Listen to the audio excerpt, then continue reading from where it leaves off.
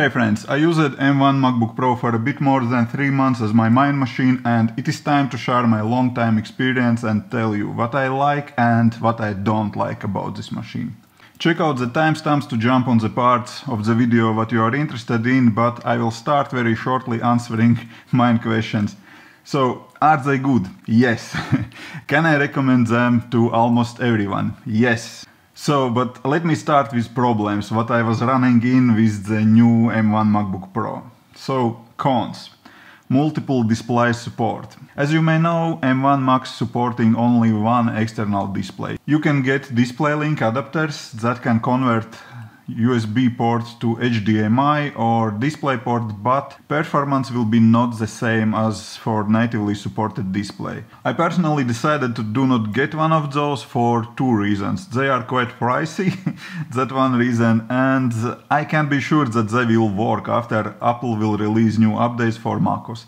Whenever macOS is updated, adapter may need be updated as well, because those are third-party drivers in that DisplayLink box. So I decided to stick with one external uh, monitor 49 inches wide enough to do not need extra space and I still have my MacBook opened next to it. Lack of eGPU support.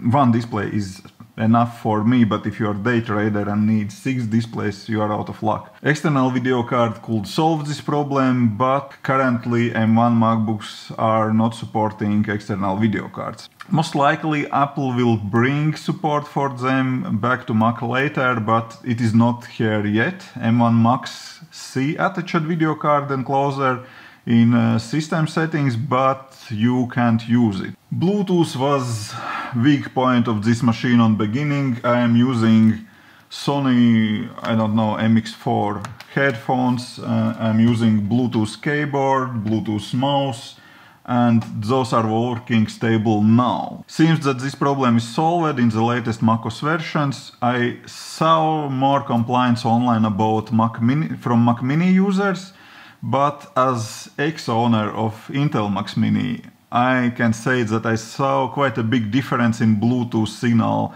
power between MacBook Pro and Mini. I, am talking about Intel machines that could be somehow related with this Mac Mini body and that enclosure, that, that Mac Mini body maybe is not so great for Bluetooth. But yeah, I don't know situation about Mac Mini now, but on MacBook Pro, Bluetooth works just fine. SSD writing issues. Some users reported extremely high drive writes, which could significantly impact SSD drive lifespan. SSD drives has limited amount of data writing cycles and at some point it will become unstable. That's just how they work. Of course I checked my SSD as well and information available online. I find one case with 3% of SSD resources uh, used in two months of usage. That's quite a lot.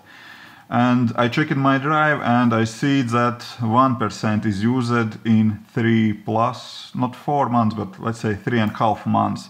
So for me that looks way better and quite, let's say, okay. I think that this problem, if this problem exists, That could be partially because of Rosetta apps and partially because of early versions of macOS for M1 Macs. Eventually that should be solved, so I do not see that big problem, but worth mentioning anyways. One issue that annoys me the most is external camera support and problems with that. I used my this camera, EOS R camera what I'm using right now for this video as webcam. Camlink, let me find, yeah, here it is. I have this Camlink adapter. This Camlink adapter works really nice with uh, my Hackintosh and I can use it to connect my EOS R as a webcam. Camera is just recognized as webcam in any app, uh, Skype, Zoom, OBS, uh, Microsoft Teams, you name it. I didn't run in single problem so far with this on Hackintosh. On M1 Macs, camera freezing. After a short period of time usage, I tried three different USB hubs. I have one cheap no-name hub, I have CalDigit Soho hub. That's quite good. I used it with and without power cable attached. And I have here I have a Kingston workflow station. The result was the same with all, all the hubs. And also I found multiple external web cameras reported as not working in Apple community forums. Hopefully this will be solved eventually. If you need a camera for calls only, you can stick with this horrible built-in camera. Looks horrible, but kind of works. But if you are planning to stream content online and use better cameras, you may be out of luck. Software compatibility. Yeah, Apple Silicon Macs are available for consumers since November. Software developers had a chance to update all the apps and drivers using developer kits uh, since um, summer of 2020. But all those months later, general software compatibility, compati, how do you say that? Compatibility software just doesn't work yet. So it's this problem is not still fully solved. Sure, apps will be running in the Rosetta environment, but there could be problems as well. My example will be about cameras again. There are utility developed by Canon, basically that is a driver which allows to use USB-C cable uh, to connect camera with laptop and use it as web camera. So seems that this driver still running is Rosetta emulation and I do not see it in native applications. But I can see it in, in OBS or OBS Streamlabs which also running in Rosetta emulation. One application is working, another application is working, but they are not interact good with, with each other because of this Rosetta environment. So check out if software which is essential for your daily workflows working on M1 Macs before buying one. So that also quite a big con. So let's talk about some pros. Uh, so why anyone after all the listed problems would like to use M1 MacBook? If that means I definitely have a shiny object problem and I happily jumping on any new hardware from Apple. okay, just kidding. Let's talk about my reasons a bit later, but for everyone else, if you need Mac today, I highly recommend buying M1 Mac. They have great price performance ratio comparing with any Intel Macs from the current product line. I just do not see reasons to invest in technology that Apple decided to leave behind. They are planning to drop Intel CPUs and they say that in two years they will move all the product line to ARM processor. So no reasons to buy Intel computer today. And most of the issues uh, that I listed are first generation problems and can be solved with software updates. So hopefully soonish those will be solved. Next one in my pros list is battery life. Battery life is just crazy as Apple likes to say about iPads, all day long battery life. So this is the same. Finally, I can grab MacBook only and go to work in the coffee shop or just move over to the couch.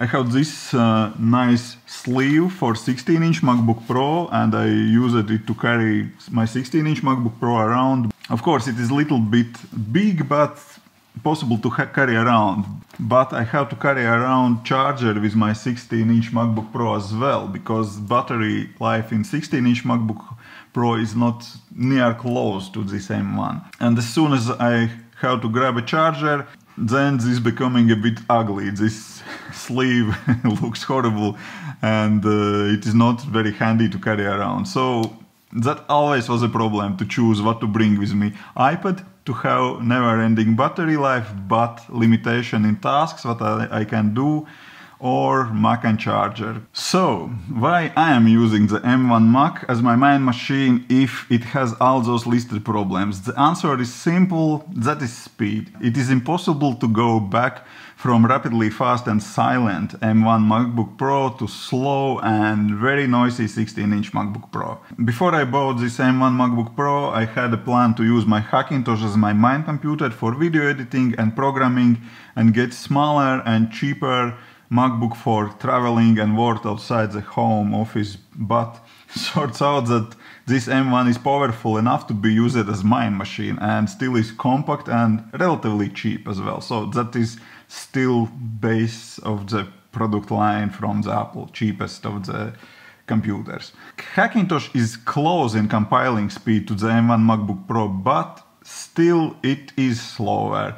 And I recognize that it sounds like first world problem if I have to wait for a few seconds on simulator or preview in canvas uh, in Xcode to show changes that I did in code, but that interrupts workflow. If I have 10 to 20 seconds to wait, I feel that I could jump on phone to check out messages or Twitter or DMs, whatever, and few minutes later I can find myself still scrolling through the phone or browsing YouTube or whatever. I'm working better if I put myself in optimized workflow in, in and environment like that, so there is no way back to Intel Mac for me personally. I still have my Hackintosh around for just for backup. Uh, if something will happen with my M1 MacBook, my 16 inch MacBook Pro was in a repair twice, so I, I, like to have backups now and uh,